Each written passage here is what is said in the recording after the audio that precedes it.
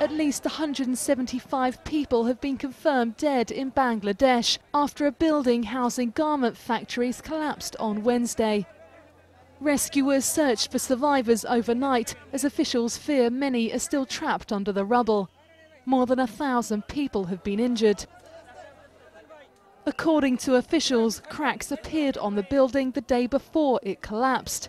Warnings not to allow workers into the complex were allegedly ignored. On Thursday, relatives were anxious to see if their loved ones were among the victims. Mainly female employees worked at the factories, which supplied garments to Western companies. UK retailer Primark says one of its suppliers occupied the second floor of the building. The disaster raises questions about workers' safety and low wages in Bangladesh. It comes just five months after a fire at another factory left more than 100 people dead.